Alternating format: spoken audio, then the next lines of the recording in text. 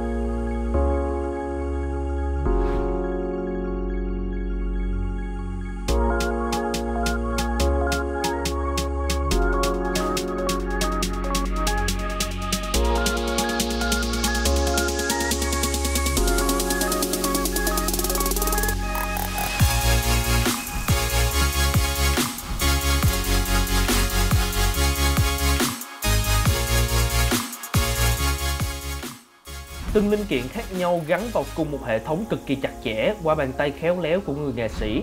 Nhưng dẫu sao, đó cũng chỉ là phần ngoại hình mà thôi. Còn hiện tại, chúng ta sẽ cùng nhau khám phá hiệu năng tận sâu bên trong của cỗ máy này nha.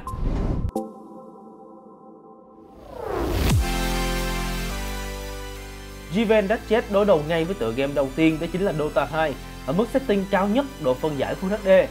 Khi đi đường, FPS vẫn khá cao với tầm hơn 130, farm lính nhẹ nhàng vẫn rất ổn.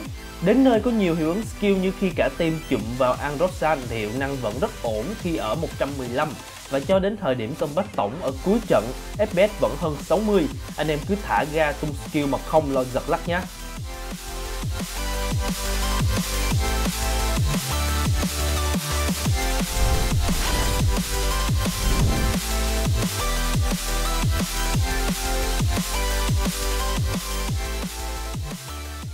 Trở lại với book game Liên minh huyền thoại, Riven Ratchet đạt hiệu năng ấn tượng với hơn 145 FPS khi có nhiều hướng skill khói lửa mịt mù, kèm theo vẫn giữ vững phong độ hơn 95 FPS khi tham gia giao tranh trong các pha combat cực hăng. Và đương nhiên, do phần trăm loát của CPU lẫn GPU đều khá ít nên mới như thế này. Có lẽ từ game này chẳng hề xá gì so với hiệu năng thực thụ của bộ máy chúng ta rồi anh em ơi.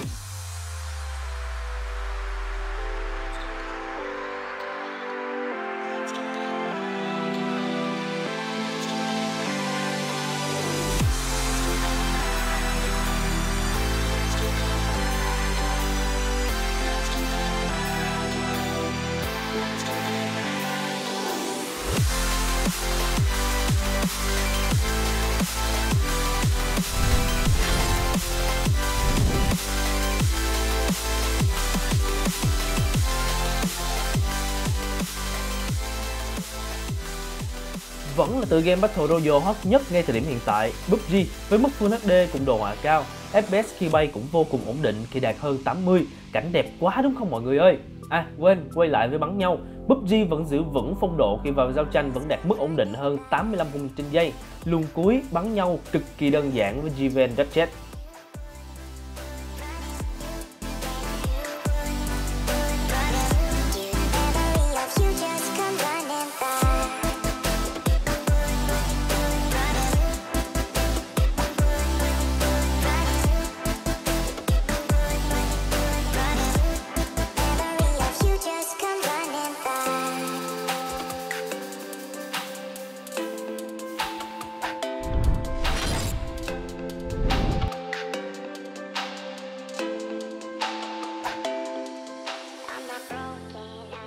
Đến ngay với tựa game mới nổi gần đây được phát hành bởi Riot Game, Valorant.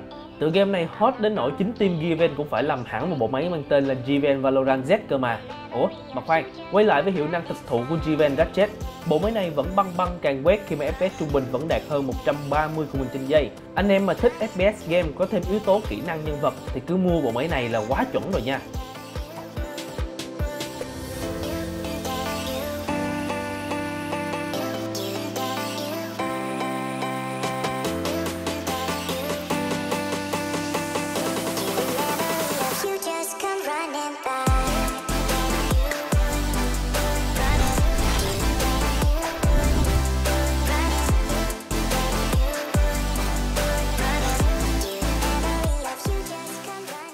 Và con game nặng đô nhất cuối cùng cũng được mang đến chiến thử COD Warzone. Zivan Ratchet tưởng chừng yếu ớt nhưng không, bộ máy này vẫn chiến cực ngon ở mức medium setting.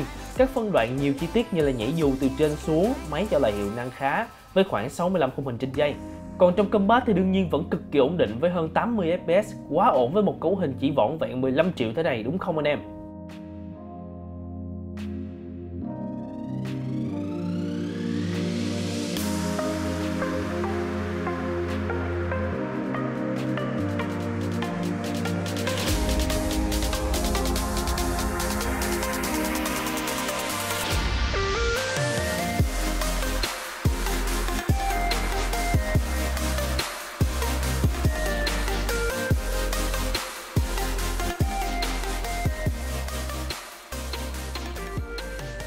Và đây chính là sức mạnh thực thụ của siêu máy giá 15 triệu đồng với cấu hình mới nhất đến từ Intel. Nếu bạn có nhu cầu chiến mọi game Full HD với mức giá phải chăng nhất có thể thì chắc chắn không nên bỏ qua Zivan Ratchet. Đừng ngại ngần đến ngay showroom GVN để trải nghiệm nha. Còn bây giờ thì xin chào và hẹn gặp lại anh em.